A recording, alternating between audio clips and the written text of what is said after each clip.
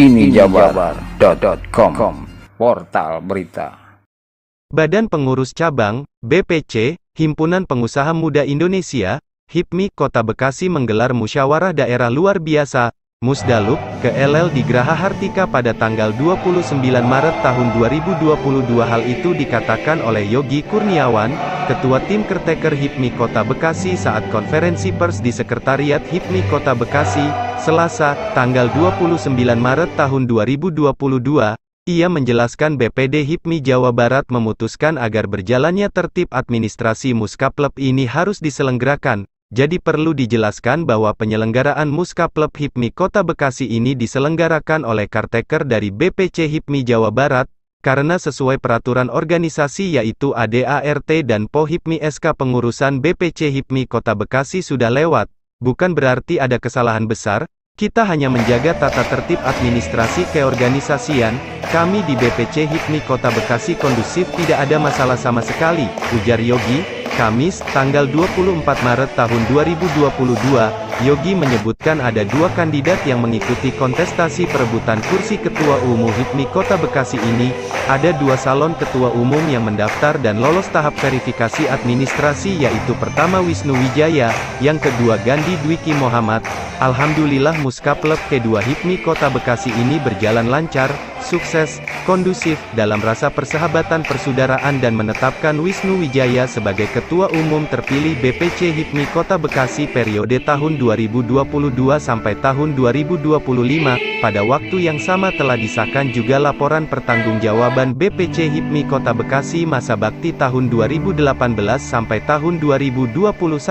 Assalamualaikum warahmatullahi wabarakatuh. Selamat sore, selamat sejahtera untuk semuanya yang saya hormati dan saya banggakan pers dan media sebelumnya mohon maaf ada nomor satu tanpa mengurangi rasa saya saya Yogi Kurniawan Ketua Caretaker BPC Mini Kota Bekasi ya.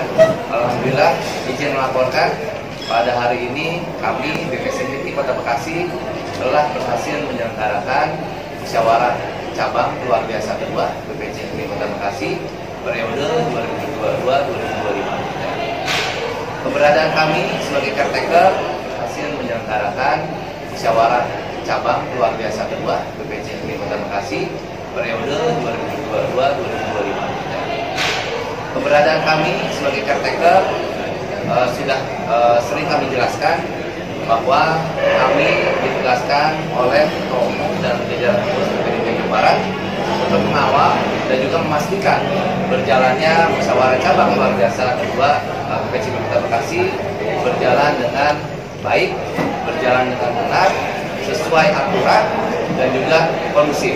Ya. Alhamdulillah pada hari ini mungkin tadi rekan-rekan pers media melihat sendiri bagaimana perjalanan dari awal pembukaan hingga akhir penutupan. Alhamdulillah semuanya berjalan. Teman-teman media semua, sekali lagi terima kasih sudah mau menunggu jalannya perjalanan Muscapuk ini sampai uh, malam hari. Karena tadi mungkin sudah disampaikan juga oleh Tim Yogi, kita menyelenggarakan sesuai dengan pedoman organisasi. Jadi tahapan-tahapannya akan dilalui dan alhamdulillah seluruh tahapan-tahapannya dapat kita lalui dengan baik.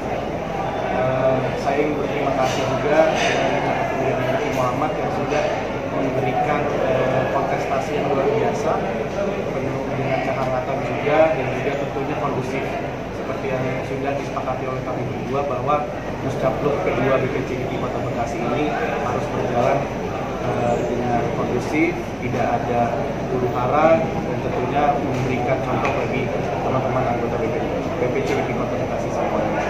Saya uh, Wisnu Wijaya, Alhamdulillah tadi uh, sudah melewati prosesi pemilihan dan uh, terpilih menjadi ketua umum terpilih periode 2022-2025 BPCIP Kota Bekasi.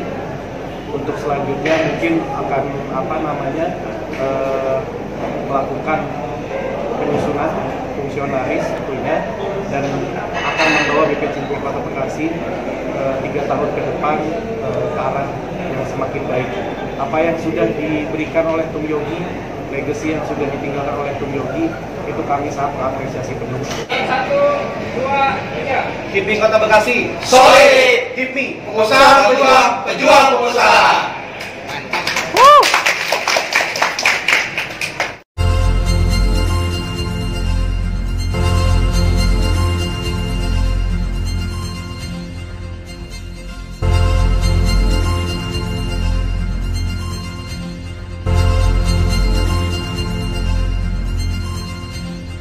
Ini jabar.com Portal berita